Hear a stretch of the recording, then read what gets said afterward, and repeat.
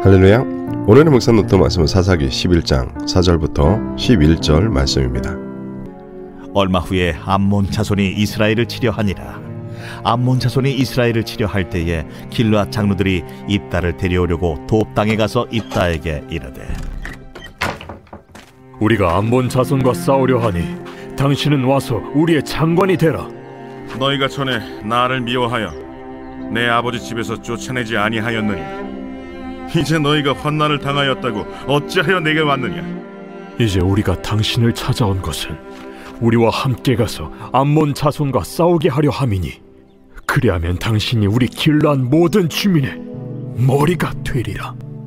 너희가 나를 데리고 고향으로 돌아가서 암몬 자손과 싸우게 할 때 만일 여호와께서 그들을 내게 넘겨주시면 내가 과연 너희의 머리가 되겠느냐 여호와는 우리 사이의 증인이시니 당신의 말대로 우리가 그렇게 행하리이다. 이에 입다가 길르앗 장로들과 함께 가니 백성이 그를 자기들의 머리와 장관을 삼은지라 입다가 미스바에서 자기의 말을 다 여호와 앞에 아뢰니라 계속되는 본문은 동부 지역의 대표적인 사사인 입다의 행적을 기록하고 있습니다. 앞서 언급한 것처럼 입다는 큰 용사였습니다.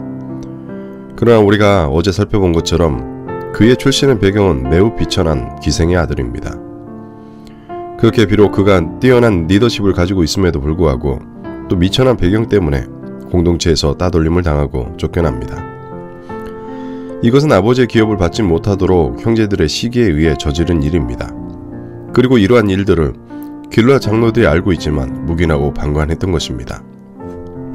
그런데 이제 길라 주민들이 암문 족속과 대처하는 과정 가운데 비록 서자이지만 두 땅에서 큰 용사로 불렸던 입다를 찾아온 것입니다.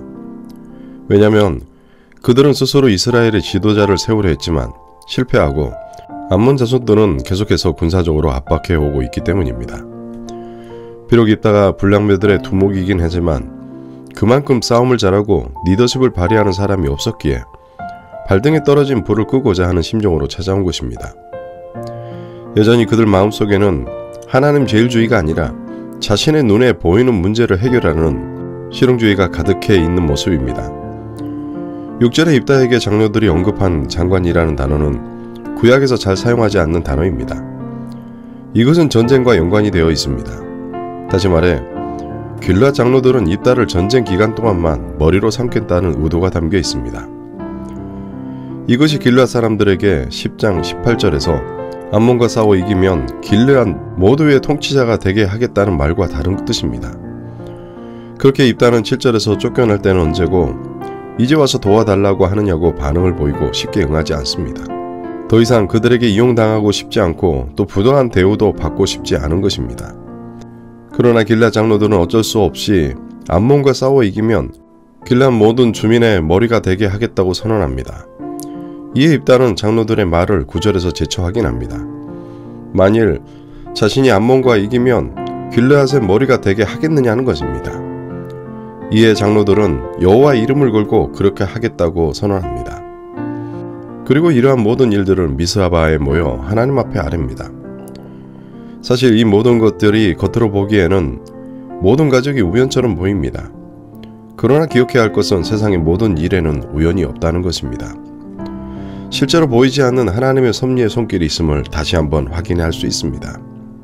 뿐만 아니라 입다처럼 위기 속에 빛이 나는 사람이 있습니다.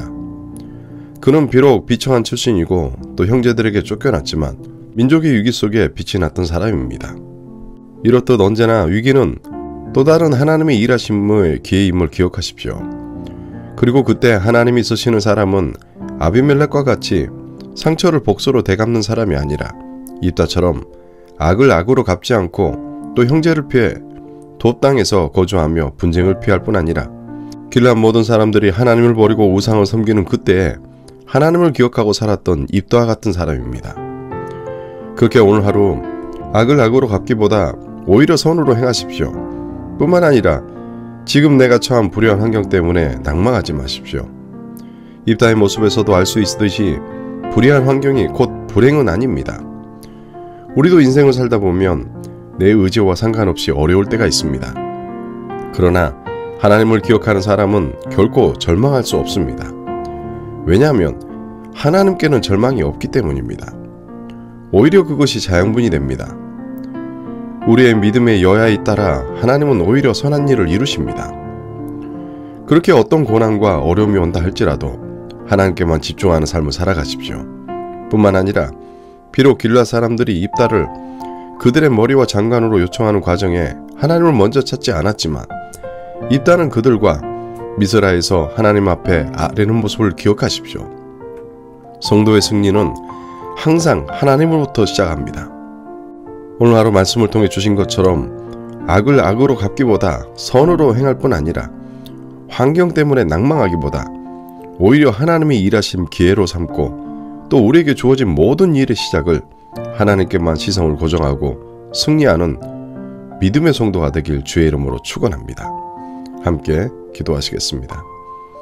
은혜로신 아버지 하나님, 우리가 어떤 일을 하든지 하나님보다 앞서지 않게 하시고 모든 일의 시작점이 하나님이 되게 하여 주시옵소서.